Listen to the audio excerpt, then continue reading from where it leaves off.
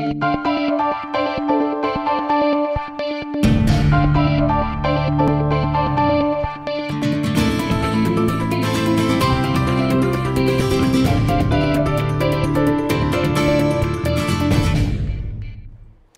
I'm Bob Scott, president of Adelphi University.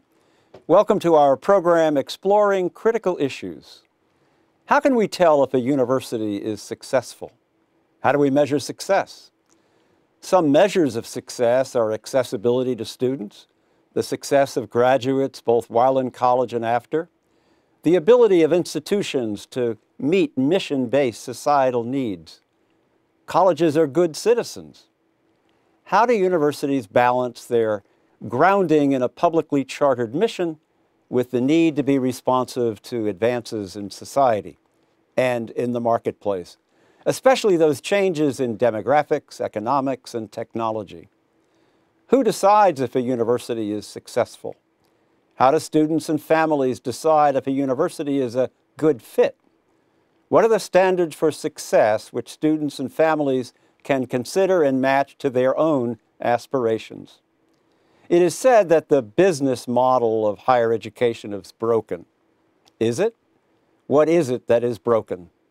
To help us explore these and related questions, we have an expert panel which includes Laura Anglin, President, Commission on Independent Colleges and Universities of New York, Conrado Gempesaw, President, St. John's University, the Honorable Roger Tilles, Regent, the University of the State of New York, and Dr. Herman Berliner, Provost, Hofstra University.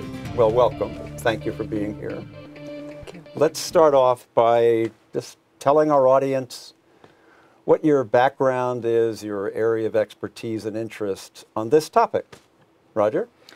Well, um, I've been involved with uh, university and college education for quite some time, from being the counsel to the faculty senate at the University of Michigan to uh, chairman of Long Island University to now being a regent which approves all university and college programs.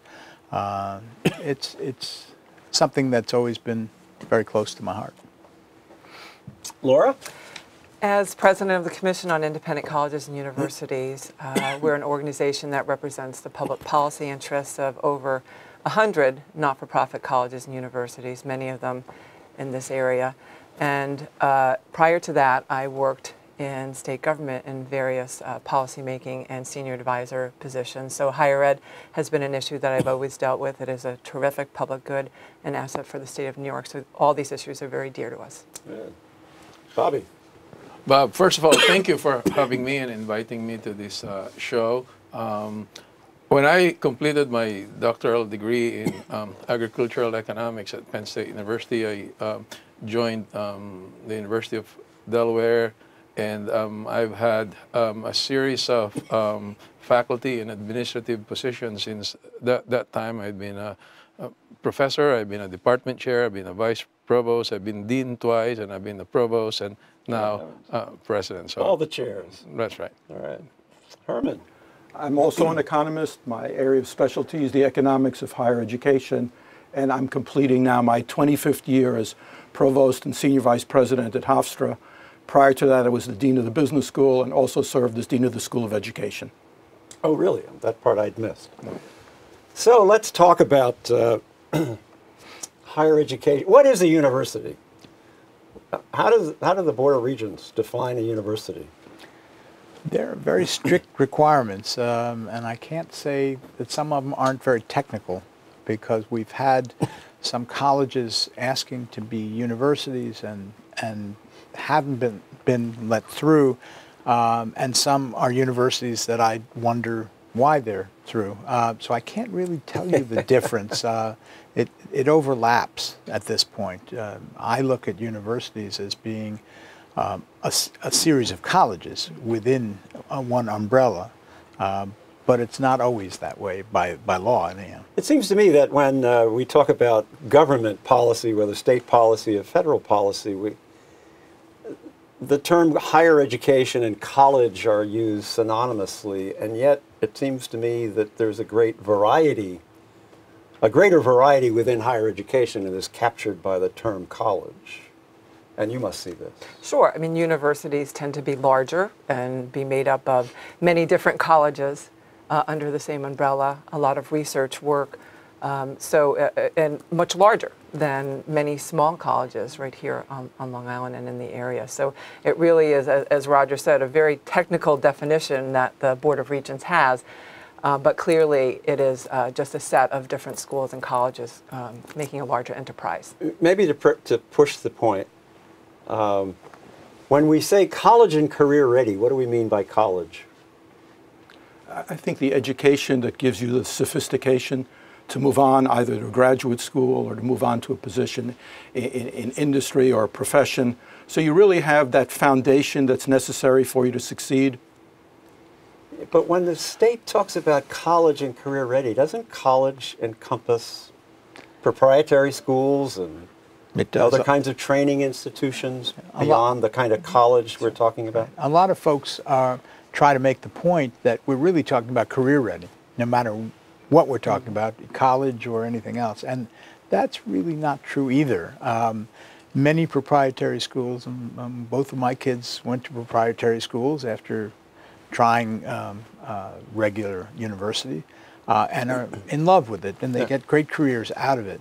However, there is something to be said for it being more than just career because I went to a great liberal arts college and it, it made a huge difference in my life, not necessarily in my career. So colleges and universities have their own place, and college and career ready are two different really subjects. However, both of, both of them really require a lot more work at the K-12 level than we've done.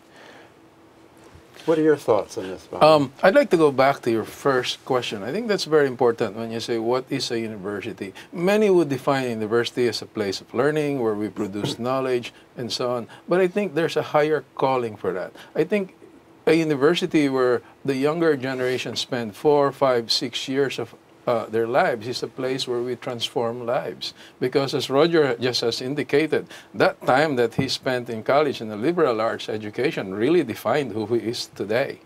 And when I go out and uh, meet with our alumni, they come back to that experience, that memorable experience that defined their professionalism, their career, and most of all, their ethics and contribution to society. So I think universities, higher education, as you would call it, play a major role in who we are as a society.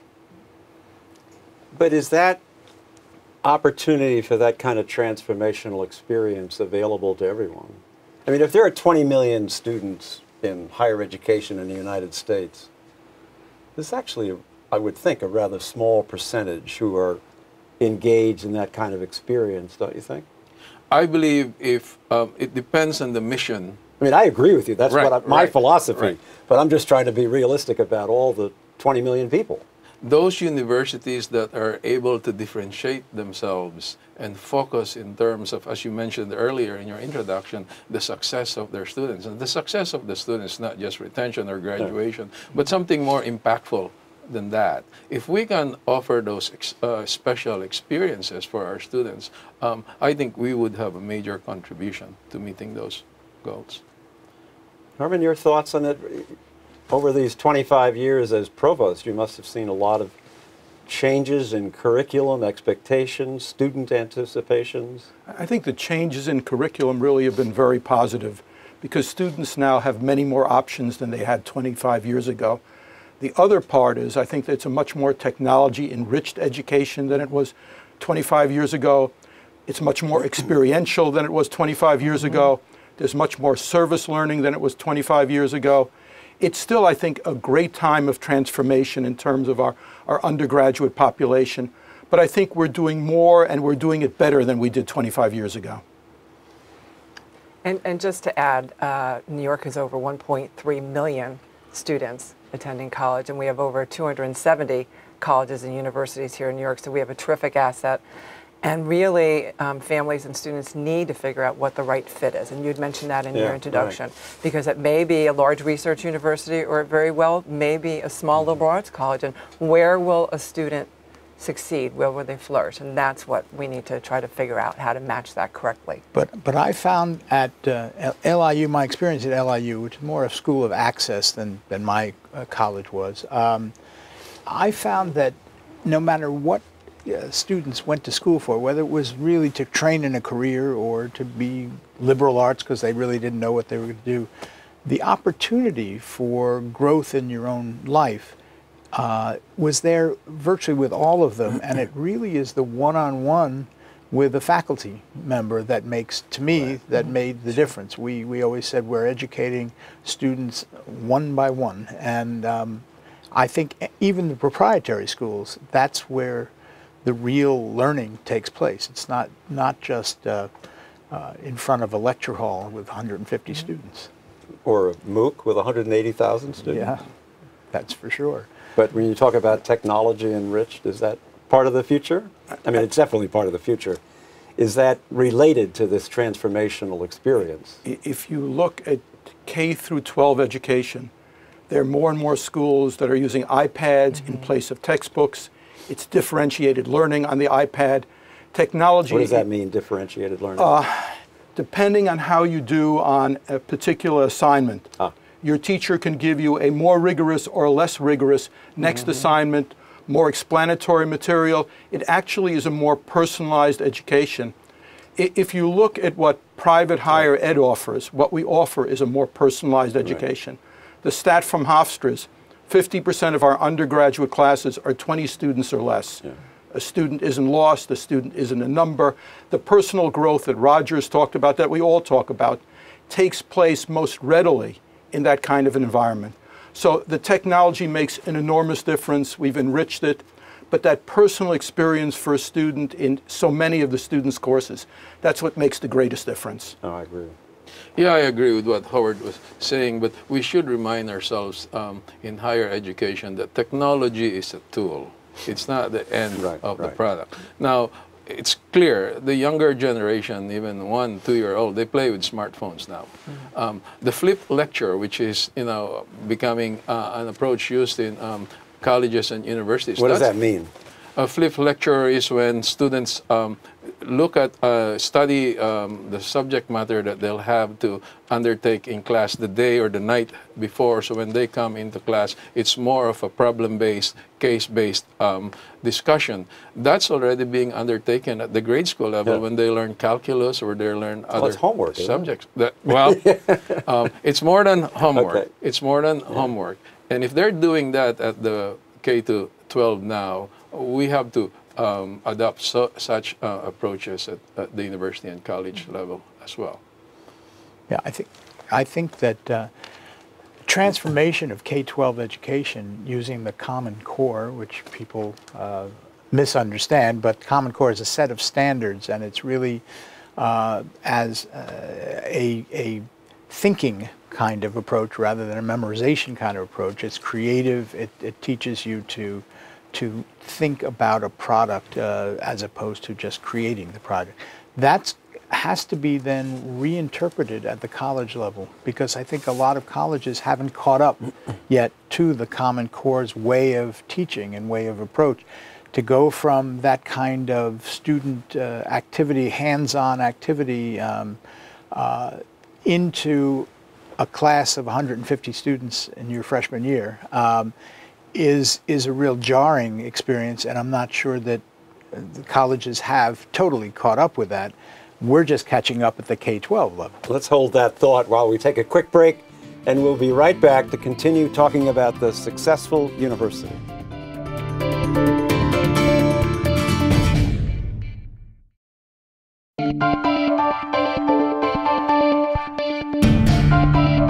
Welcome back to our show, Exploring Critical Issues. We've been discussing the successful university. Roger, you introduced uh, the Common Core curriculum as a topic and made a statement about higher education not catching up.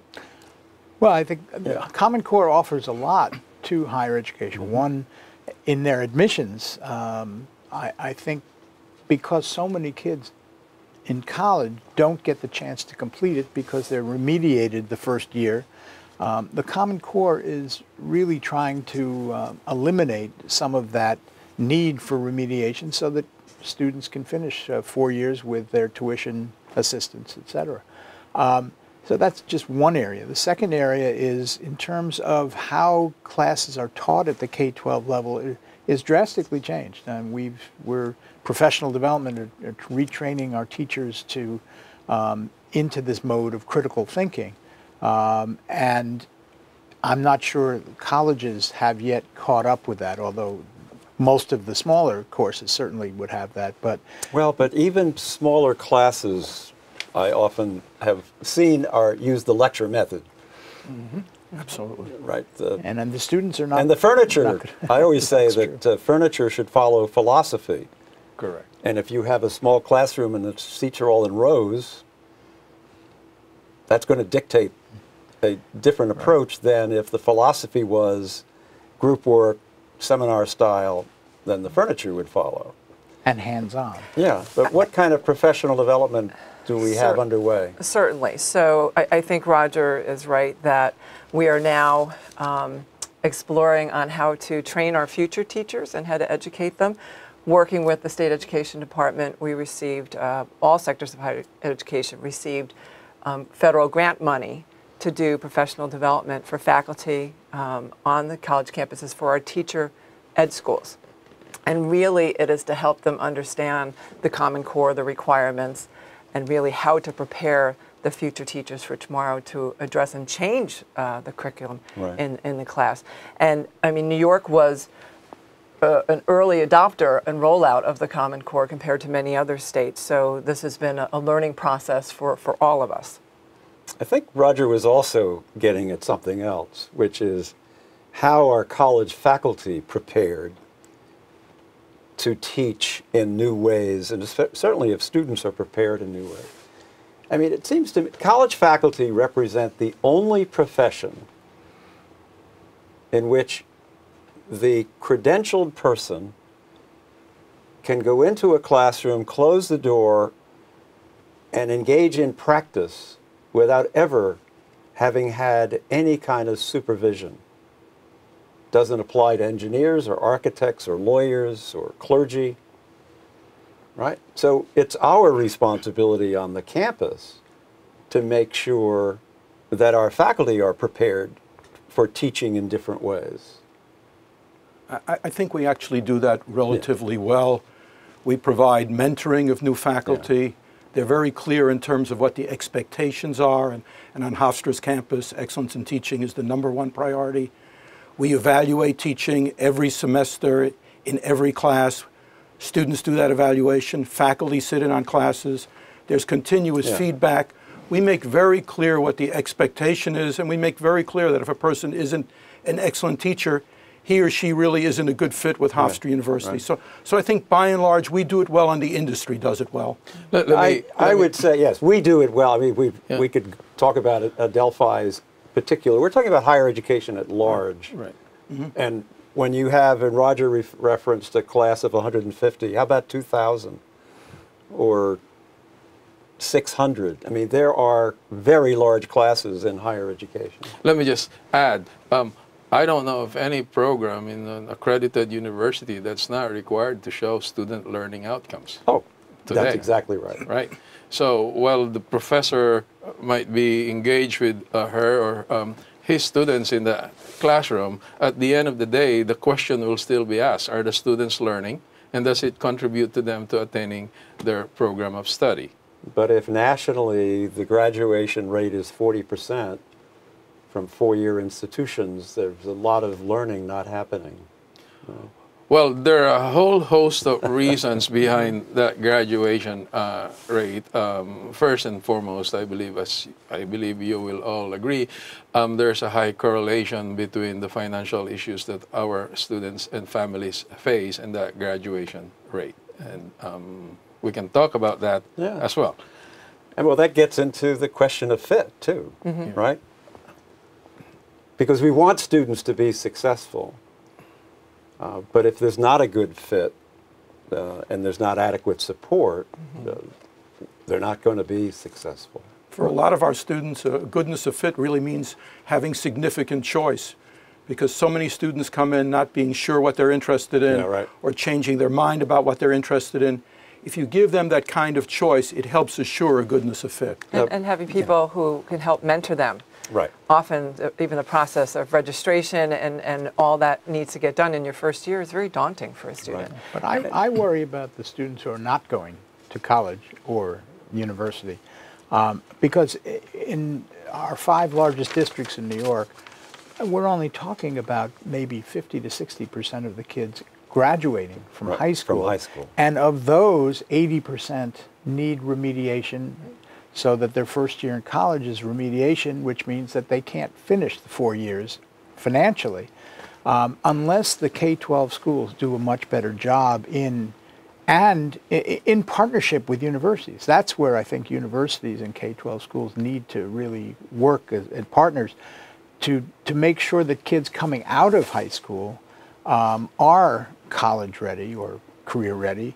Um, and that's going to require some of the new programs that we have where uh, colleges come into the high schools and, and begin teaching on a college level in high school, even where the students are not necessarily the best students. In, in CUNY, um, that, that system works really well. You're getting students who might never have graduated to get college interested and then college ready. And there are programs that are being developed like that, and I think they're, they're, that's the future for, for us. And we also have uh, great programs like our HEOP program, Higher Education Opportunity Program, building off what Roger said is this is a program where we accept academically as well as economically disadvantaged students.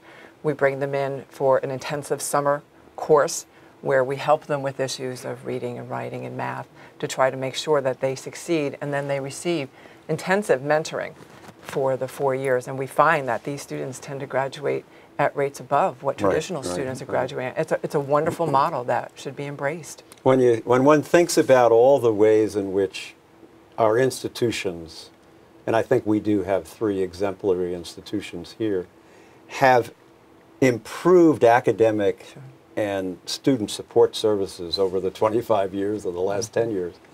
It's really rather remarkable, but then of course we get criticized for having too many administrators and for uh, administrative bloat and, and expenses. But all of these services require people, right? Students come with many more issues. Right. We, we have to serve their needs. We have to do everything we can to help them succeed. That requires more administrators. The growth has been in areas, the counseling center, right, right. Uh, student activities, all the things that are involved in a fully textured experience and providing proper support. There Right. really is no alternative if you want the students to Right, succeed. right. No, I agree. You must have seen that. I'd like to say there are administrators and there are administrators, and Okay. but I, I want to go back to what Roger uh, said about the partnerships between um, universities and, and high schools. Um, at my place at St. John's, we have a program called College Advantage Program. We have close to 4,000 high school students taking uh, college, uh, St. John's uh, college credits. That really helps us uh, interact and introduce college to these kids. Yeah, one of, one of the things we were talking about before in terms of how Common Core is being taught, one of the aspects which is really changing, I think, at the K-12 level is collaboration of teachers. Um, the, the best parts of Common Core programs are when teachers collaborate with each other, there's cross uh, currents of, of coursework and whatever else. I know many colleges have done that in the past, but as a regular on a regular basis, that's going to be, I think, something that students will be looking for. Mm-hmm. I wish there were, and we've talked about it before, I wish there were incentives, let's call them, for school districts to be open to more of those kinds of relationships. If in fact there was more of what's called the medical model of between the preparation of teachers, the universities and the schools, so that there was more of a symbiotic relationship. Uh, because we do, we have had experience, for example, to have our English faculty meet with English faculty of uh, neighboring school districts to review student papers, high school student papers and college student papers, shift them around, and have the teachers and the faculty grade the papers and then discuss the criteria for grading. But we've had disincentives um, for colleges and universities and, and K-12 to partner. For instance, student teaching, um, up until four or five years ago, it was not hard to place your student uh, in ed school Right. in, a, in a school district.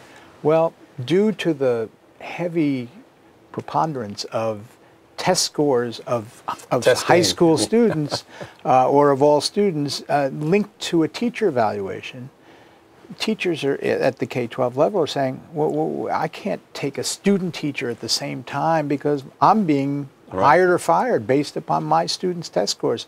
So there, it's more and more difficult to place those students. It's a, and it's uh, one one hand in education doesn't seem to know what the other is doing. And we have seen that uh, across the entire state, that the, the placement issue has been a critical one. And we're also seeing that less students are going into the field. Well, yes. Um, so that has been a, a challenge too. Can I build we on that? We do see an uptick, by the way, in interest. Yeah. Can I build Okay. on that for, for a moment? Because in my spare time, I'm president of the North Shore School Board. Oh, my. So, I, so I, I'm very involved in K through 12 education. We have made it very difficult for teachers. We've made it very unattractive for teachers for this overemphasis on testing. So if we really want to, to continue to get top-notch teachers and make the field attractive, we have some fundamental changes that we have to make. Roger and Laura talked about one of the key issues. We're having trouble in terms of placing student teachers because we put so much stress on teachers in terms of testing that they really don't even have the, the time and to, to work with student teachers. We've got to change that. And I think where colleges and universities can make the greatest difference isn't at the high school level and isn't really uh, even at the middle school level. It starts at elementary school. It starts with a full understanding of, of literacy and, and having that foundation. And I think we can make an enormous difference. All of us have education programs that are very strong. We can make an enormous difference in those schools. Uh, that should be facilitated by the state because we're all ultimately invested Right, in these kids right. doing well. yeah. And I think the, the ed schools need to prepare their students, and, and this, the regents are really um, toughening the requirements uh, to become a teacher um, because we had many teachers that really were entering a classroom without the kind of clinical experience that they needed. Uh, the regents are going to require that. It's going to be more rigorous to, to get into a school. Um, and then it will be more rigorous after they get into school with uh, constant professional development and, and training in this in the new Common Core teaching. But if a student gets to ed school uh, or even to college without knowing the- or understanding what this critical thinking program is, then there's a real disconnect Right. when they are thrown into a school and which has that already. So. So let's take a quick break on that point, and uh, we'll be coming right back as we continue to explore this critical issue the successful university.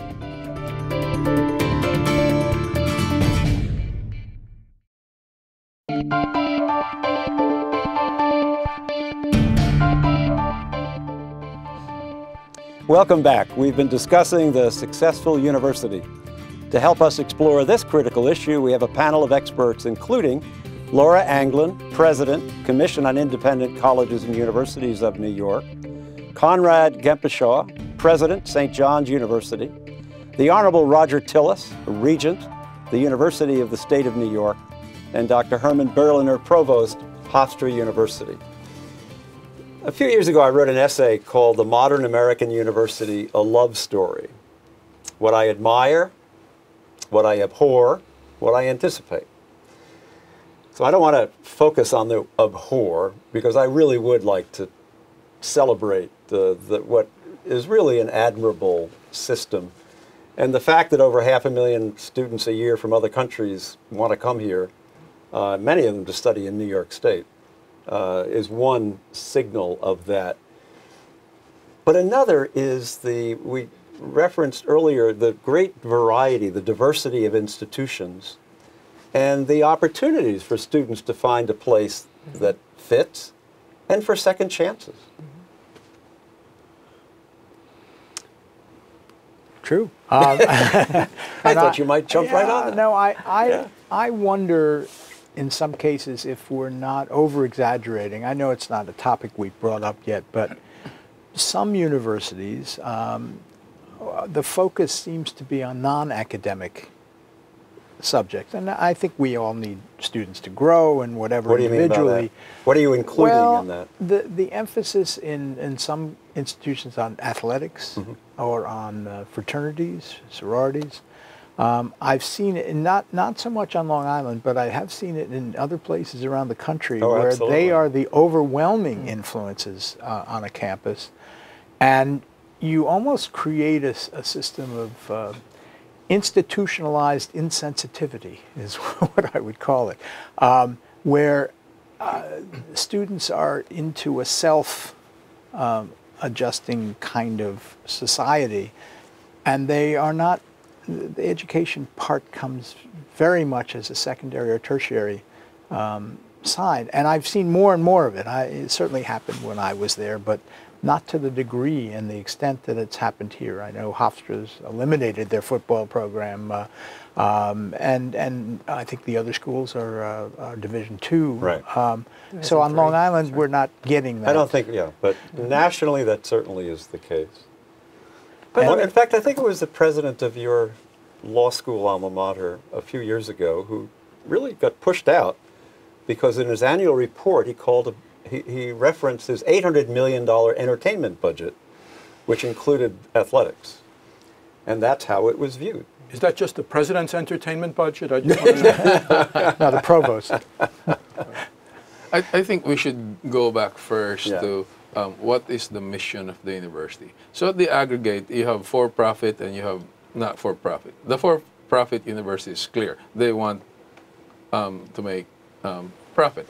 For the not-for-profit, there are many universities in that space that have different missions. Some are dedicated to their liberal arts mission. Some are dedicated to supporting um, public mission. Some are uh, have Catholic, uh, very strong Catholic mission, and and so on. So we have to go back to what's the purpose of that university, and then your question about the fit of the student. The student should go also ask that question: Is this mission consistent with what I would like Yeah. to learn? Let But me, I think let me just let me just say add that, Yeah. and you reference this. New York is the leading destination for first-time freshmen. So more students from other states come here, and I think really with the choices that we have, I think it's, it's a testament to the quality of education here in New York, but also to the fact that there is a school, whether it's a, a nursing school, whether it's a medical school, a law school, a liberal arts school, there is something here for every student. And I spend a lot of time trying to, to make sure they know what their options are, as mm-hmm. well as um, the benefits um, to attending college here in New York. Now, I think we do have a, a, a rich system. But I think Roger's point about, I mean, just about what, what are the areas of emphasis and focus, and do students come first? Uh, I think is a legitimate question about higher education. And yes, there are measures of student learning, but the, the students are dropping out. That's a sign. But if you think about teaching loads, as they are called, the amount of teaching, uh, research that may not have anything to do with student learning, graduate student or undergraduate, but or faculty who talk about my work as opposed to the work of the institution. I think nationally there are a lot of issues that cause me anguish. Um, and I fear that there aren't adequate uh, barriers to those behaviors. Uh, I don't want federal regulation any more than we have.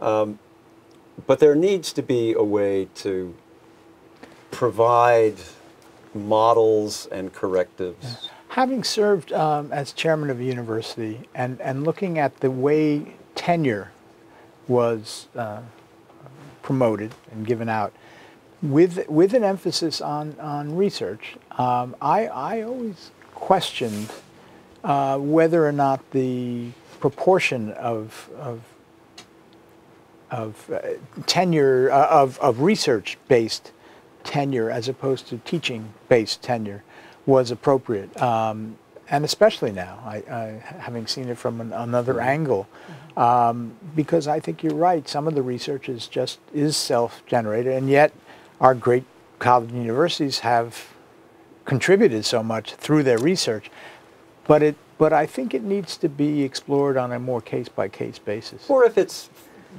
really student focused and student involved, which is what we do. Well, let let me go back a step i- i- in terms of all the things that universities are doing. We are businesses, we need to recruit students. Part of what recruits a student is a fully textured experience. All right. So, so I think there are a lot of benefits from, from athletics, not overdoing it, but there are a lot of benefits. There are a lot of benefits from a very robust student uh, services area. There, there are a lot of benefits from all the things you provide. Students have enormous choice in terms of an institution. They can select a more bare bones institution. They can select one that provides a more fully textured experience. But for all of us to succeed and do well, there are a lot of things we have to offer. Nothing's more important than the education, but all those other things have to be in place if, if we're going to be successful.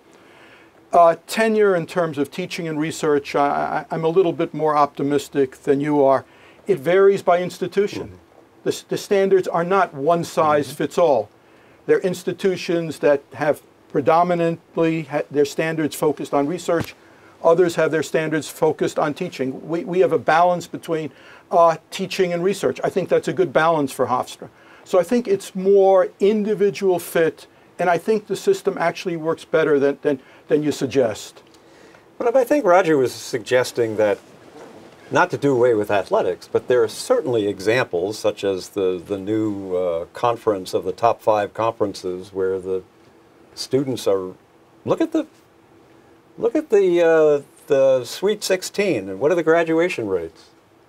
I mean, there are institutions that have gone excessively over the line in terms of athletics, and places that don't seem to take responsibility for the actions of fraternities and sororities. And yet, as a, I, I- I'm conflicted Yeah. because as a graduate of uh, Michigan Law School, um, and and I I love the athletics when I was there. Went to games and and still follow as many of the graduates do.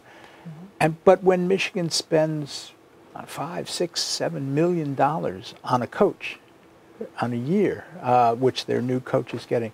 Part of me is very excited because they're going to have much better teams. But part of me says that's an awful lot of money that could be going to students, uh, scholarship money, and and I don't know. Again, it's balance, but uh, sometimes it does seem out of whack. But college sports are very popular. You know, Well, they're very popular if we look at the newspapers, for sure. But it's a question of, of focus, priorities. Uh, I agree with Roger in terms of the, the priorities. But I also think, and we talked about outcomes earlier. I said I really believe that the issue of outcomes and metrics is really uh, going to increase in the future. We have things from the president, such as the uh, White House scorecard, that looks at different metrics and outcomes from graduation rate, student debt. Um, we have uh, this new rating system that he's proposing. So I, I really do believe that more of a spotlight will be raised on these issues and, and more on outcomes. And, and perhaps that will And part of the governor's budget this year, which we have to grapple with in a couple of weeks, is a requirement uh, in order to, for ed schools to take students with a certain grade point level and, and whatever. Uh, it's getting into the point where uh, individual institutions might not have the flexibility to take a chance on uh, a, a pr- prospective teacher. Um, and then there's going to be, uh, between the federal government and the state government, there's, there's a lot of supervision. Um, that's going to be very scary. it's a challenge. When we believe someone's not going to be a good teacher, we counsel that person out. To set a GPA standard, I I think, is much too arbitrary. I I think there has to be the discretion given to the individual colleges and universities. Yeah, on the, on the one hand, we, you're suggesting more constraints. And at the same time, many colleges and universities are criticized for not being more responsive to public needs. Right? You're slow, you're dinosaurs, you're not keeping up. So to help you, we're going to tie your hands further. Doesn't seem to make a lot of sense. That really reinforces what uh, Howard said um, earlier, that compared to two decades ago, today, um, a college education requires more experiential learning. Yeah, right. More, more applied. But I'd like to reinforce what he also said about the importance of not just um, the education part, because in a university, college students probably spend what a fourth of their time inside the classroom and 75% of their time outside of the classroom. So we as a university must be prepared to make sure that they have activities that would contribute and reinforce what they're learning inside the classroom. Growth experience. One thing of I passage. like, which I've seen more and more of, is community service um, coming out of college and universities. absolutely. when I was there, it, it was a case by case basis, but now they're, they're, college and universities are really pushing their, their oh, students. Often it's a requirement now. It's To built be in. involved, yeah. Sure. Much less of an ivory tower, aloof right. from Right. society, much more engagement. Mm-hmm. for the faculty too. Yes, oh, the faculty Part too. of it, yeah. Absolutely, yeah. I, when in, in our next segment, I want to be talking about what we anticipate, what, what we think of are changes happening, because we're always told that we're often we often read that the system is broken, that uh, disruptive forces are at work, that changes in demography and uh, economics and technology is going to force major change. I'd like us to think about what some of those changes are, are going to be, what the consequences might be, and whether, to get at something that uh, Roger suggested, there needs to be a greater sort of disaggregation of components of institutions, separating them out into different parts of the community. So, with that teaser, we're going to take a quick break, and we'll be right back as we continue to discuss the successful university.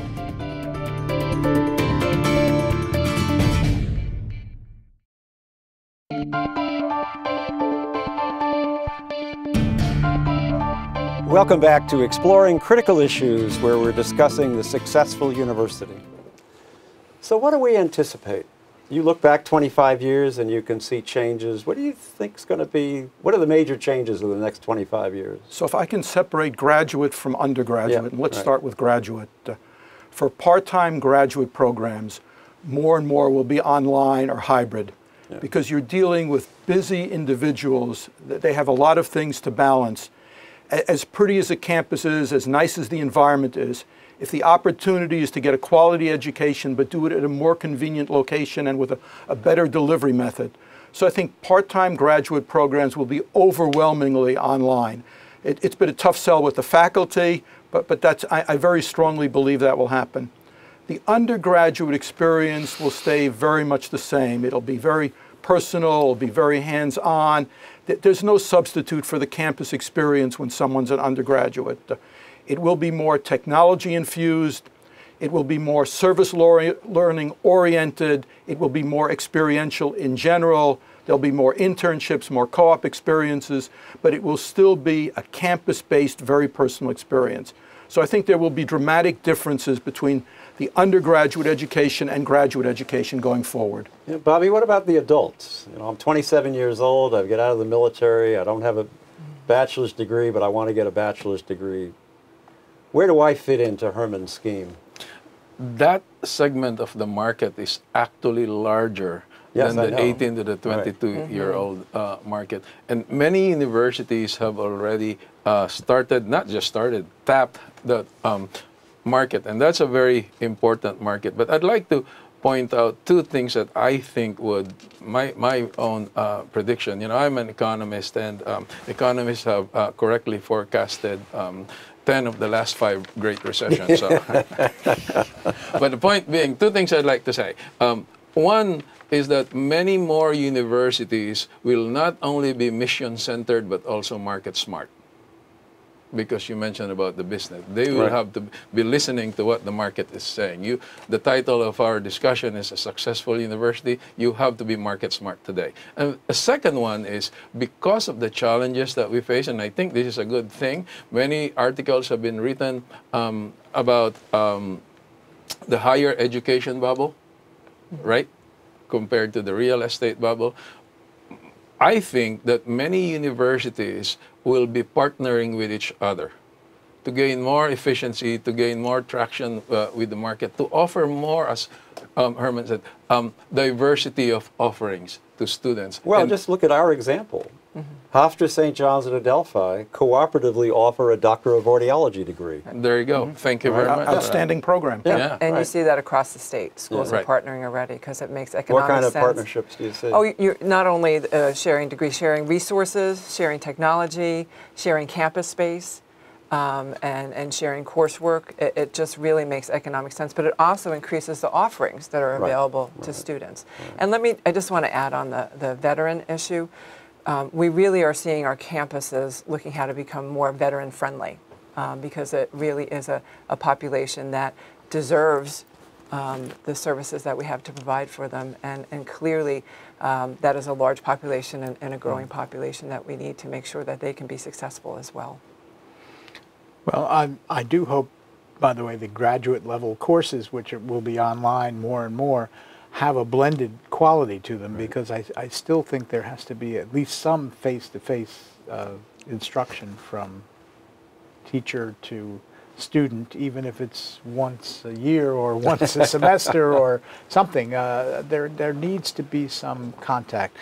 I'm, I'm looking at the future of the demographics of this country are certainly changing, and what we're finding is there's a, a becoming a, a, a even greater gap of those who can afford to go to college versus those of the growing section, uh, which is, are less able to afford going to college. So unless we really change some of the public policy about um, who can go to college and who can't go to college, we're going to see an increasing gap. Uh, and, and I think uh, the, the object of the DREAM Act was certainly to be able to have more and more students. well, that was about access. Yeah, Right. access. Well, But I'm, I'm talking about access, access and, and money Yeah, uh, right. are, are very much Yeah, tied yeah. to each other, and we're seeing declines in in uh, that the section of society that probably needs Mm-hmm. college the most in being able to have access to college. I suspect that our profiles are somewhat similar. At Adelphi, 25% of our undergraduates come from families who earn less than $30,000 a year. Uh, 44% come from families earning less than 60,000 a year. And that's through a combination of the state and federal programs, uh, our own fundraising and uh, endowment funds together with operational funds. But it, it is a struggle. And I think you're right. Can I, can I add, um, one of the things we're very concerned is looking at the federal government right now and where they're going.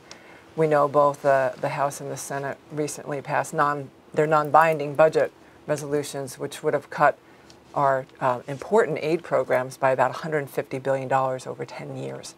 And obviously, they have to go into conference now, but if, if those programs are cut to that magnitude, access will be crippled. Oh.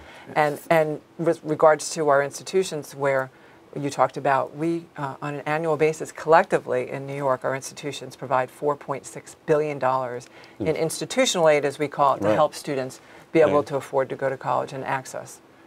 You know, I worry about, in fact, the president's initiative on community colleges Sure. because I'm afraid it'll be funded through the Pell Grant money, and 31% of our students are on Pell Grants. Sure. I think any cutback in terms of federal support or, or state support, any support, is enormously short-sighted, and, and even the economics don't make sense because if someone goes on and completes his or her education, gets a position, earns more, pays Right. more in taxes. Right, So right. over time, they're paying back a lot more. So, so I hope we can be effective in, in stopping any movement. There's no smarter investment than we can make than the investment in education. Right, right. So let's say something about student debt because that's the media uh, certainly gives that. A, I like to say the politicians and pundits uh, give that a lot of attention, but they they focus on the rare examples. Right? There's no reason for someone to have $120,000 in debt after a bachelor's degree unless the family entered that knowingly. Right. Our average debt around the state is About about- 30,000. Yeah. And it's about equal to the national average as well. Yeah. So typically when you see the 100, 120,000, a lot of those are professional degrees. No, that's lawyers, well, but yes, those But- certainly add up. But and they're the stories are about the Sure. outliers at the undergraduate level. And 30,000 is a lot of money, but it is not 100,000. also, don't forget, higher education is still the best investment right. you can make. And as Yeah. economists, you still see every study saying that, that it's still the best investment Right. with regard to not only future income, but your health and your civic engagement, and volunteerism, and being a well-rounded individual. But in it does depend to, to some degree on the, what jobs are out there after college. I know in my field of law, um, students who came out of law school could pay back their debt pretty easily over you know a few years. Now there um, are a fewer jobs, but also they pay less proportionally than they used to, and so a law school education is now requires a much longer time to pay back. Um, given jobs that are not as plentiful and less paying. So, and I think that's true in, in other professions as well. We've moved, if you look nationally at the economy, um, other than in finance, uh, you, you see declines in the kind of uh, proportion of, of, stu- of, of what somebody makes when they get out of school. But there are increases in other job categories, engineering, computer science. I mean, we have firms on Long Island that just cannot Yeah. hire engineers, We have to- especially computer engineers, fast enough. We have to import um, students from actually outside the country to fill the jobs on Long Right. Island, but that has to do with a lot of other factors such as housing and whatever.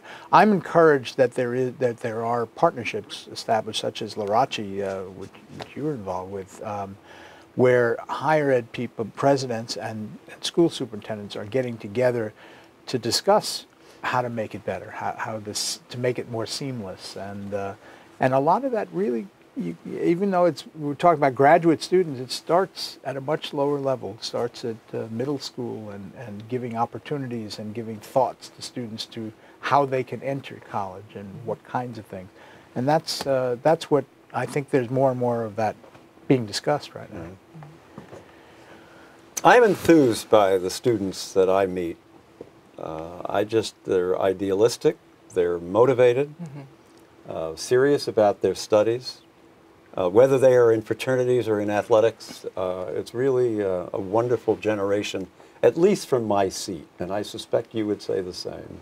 And I think they're also more concerned about the issues that are really confronting Yeah, society. yeah, And they're more involved in, in trying to do something about some of those issues. Yeah. So I, I, I'm, I'm very positive also.